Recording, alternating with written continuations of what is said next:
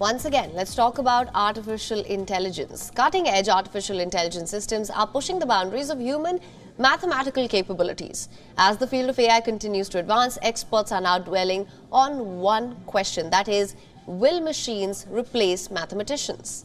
Yes, that, that, incidentally is my favorite subject, so I'm curious about this. The public uh, release of chatbots like OpenAI's ChatGPT, Google's Bard, Microsoft's Bing, Baidu's Ren, Ernie, and many others have created shockwaves in the academic world. These AI tools have the ability to generate essays, create images and videos, and even solve mathematical problems.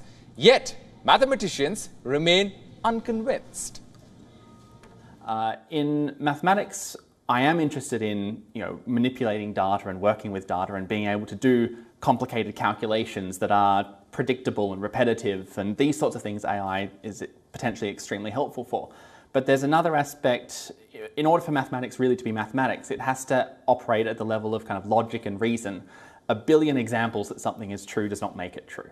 And this is a distinction that AI hasn't really been able to cross yet. The fact that it relies on data means that it's not as readily able to make generalizations that are completely true in all cases. Geordie Williamson is a professor of mathematics. He thinks his job is safe, at least for the time being. Williamson argues that AI still lacks the capacity for reasoning. As per him, AI cannot match the demanding mental process that mathematicians undertake on a daily basis. Now, I find it both exciting and tremendously worrying at the same time. I feel like there's this big wave coming for us, and we've got no idea what's going to happen. Uh, I think that we definitely need regulation, and we need to have a discussion about it as a society.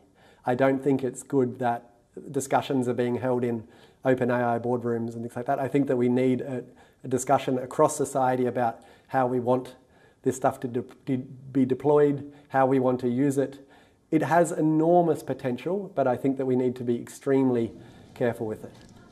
Throughout history, humans have sought mechanical and electronic aids to assist in counting and calculations. So the fear of machines replacing mathematicians is not new. And chatbots, while overall good at simple mathematical problems, still have a lot of progress to make.